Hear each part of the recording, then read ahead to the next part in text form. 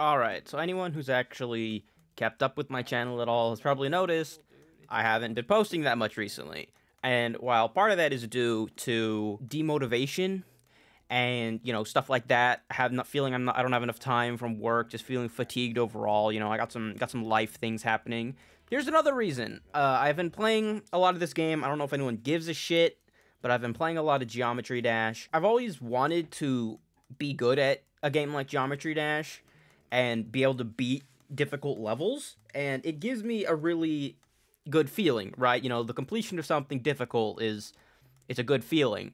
And I've been playing this game a lot more recently, ever since basically I got my new PC where I could actually run the game well, which I just wasn't able to do before on my phone or on my old PC. They both just lagged and were not, you know, great. But as soon as I got this new PC, I just got Geometry Dash uh, to, for a game I could play on my own, just single player on my own time. And I started off just, you know, rebeating a bunch of levels that I'd beaten before on my phone, just, you know, get a feel for the game again. And it was a lot easier because I'm playing at, you know, 144 hertz right now, and it's just so much more consistent than playing on either my phone or my old computer. And so I already knew about this level, Stalemate, and I just decided to start, you know, messing around and playing it. I liked the song, which is basically the entire reason why I decided to play Stalemate. And I mean, the some parts of the level are were just pretty cool and interesting to me, and I was like, mm, maybe I could do that. And I didn't think I'd be able to do it, but it turns out that I could do some of it, and at a much higher consistency rate than I thought I would be able to. So, yeah, I beat Stalemate. And here's the video because I need to upload some more content. So, you know, I feel good about this and I may as well post it for you guys because, I mean, like, what the hell else, you know? Maybe someone thinks this is cool. I don't know, bro. But here we go. Here's my completion of Stalemate and little monologue at the end about you know, the difficulty jump that I made in order to beat this and how I'm basically an idiot for doing it, but, you know, I still did it, and in a shockingly short amount of time, to me at any rate. So, yeah, here's a level. Doing okay for a bit there. Oh my god. And then five times in a row, I died of the fucking beginning section. Oh my god. Beginning part of the UFO. And then I died of the more dumb places in the first ship section over and over again. Great.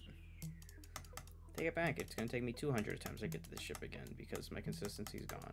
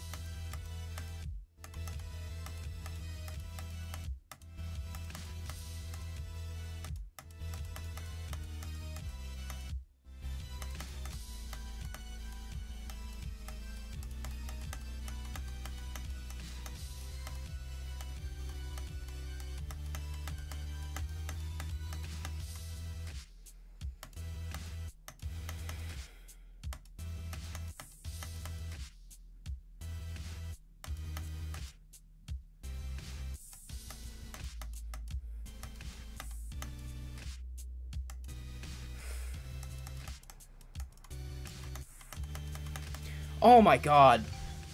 Oh Oh my god. Oh my god. I got a bunch of things for completing 10 demons. Oh my god, dude. I feel like it was total luck that I got through the fucking last ship.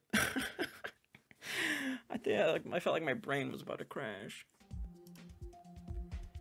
4735 is in all seriousness, way lower than I thought it would be for me to beat Stalemate. I thought I would have to take like 7,500 attempts to beat this, but that's not that much more than my first time beating Deadlocked, right? And I went from a medium demon this straight over to Stalemate. That's my next hardest, so I don't know. I'm uh, I'm very happy with that. Yeah, that was my tenth demon. What's the thing that it gave me? It gave me like a sucky ship or something. It's not that bad of a ship. It's kind of nifty, but mine's way better. Way better.